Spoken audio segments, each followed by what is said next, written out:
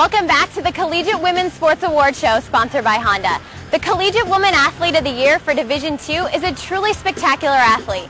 She has traveled a long and bumpy road just to become a champion in every sense of the word.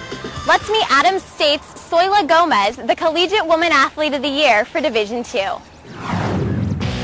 What a journey it has been for Adams State College distance runner Zoila Gomez.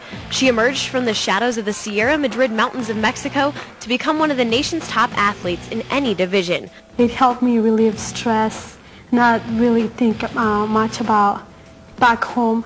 I don't remember me being homesick at all because running would help me deal with that.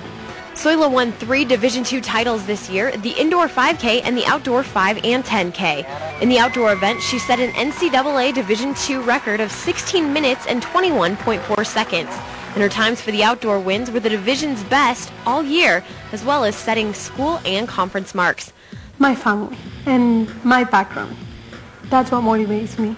Zoila concluded a college career interrupted for one year by injury with six national titles, including the indoor mile.